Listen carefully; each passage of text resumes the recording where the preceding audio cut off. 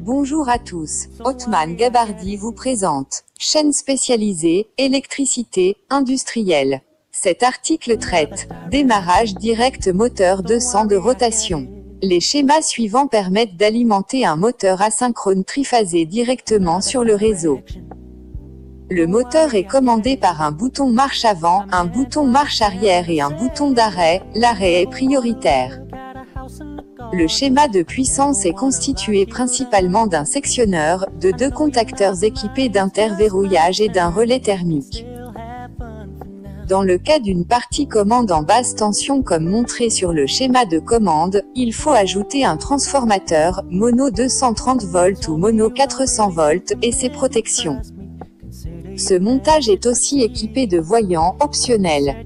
Schéma de puissance. Schéma de commande. Schéma des borniers. Schéma d'exemple d'implantation. Comment choisir les matériels? 1. Schéma de puissance. 2. Schéma de commande. 3. Schéma des borniers. 4. Schéma d'exemple d'implantation. 5. Comment choisir les matériels?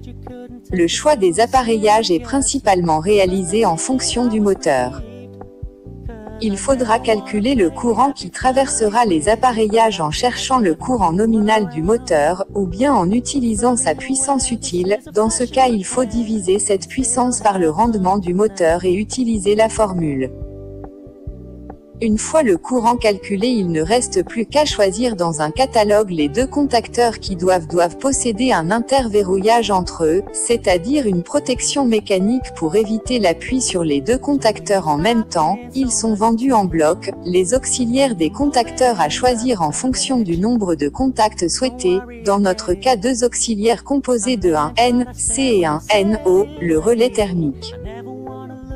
Il faut aussi dimensionner le transformateur en fonction de la puissance nécessaire en additionnant les courants, d'appel du plus gros contacteur, de maintien des autres contacteurs et des voyants. Il suffit alors d'utiliser la formule.